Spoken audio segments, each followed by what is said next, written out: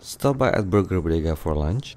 If you haven't been here before, they serve smashed burger, fries, and all the good stuff. I ordered double and a screwed fry. Both are loaded with calories. One of the things I really like over here is that they have a rooftop seating area. I kinda mess up my camera angle here, but let's just talk about the food.